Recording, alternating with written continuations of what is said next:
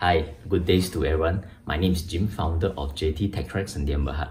We are the LED display design manufacturer house. In front of us, is a car park counter display. Where you can see now, actually, we have uh, 80 car parks available. Let's start our tutorial today. The plus actually is for the car park actually. The car goes up from the car park. And the minus actually for the car comes into the car park. So we have a very special features over here. You can see now is 83. So let's say we want to set this 83 into my system. So I can save, trigger the save button, 83. So around 3 seconds. So once you save, then you just disconnect. Then as usual, you can just plus, plus, plus, or just minus.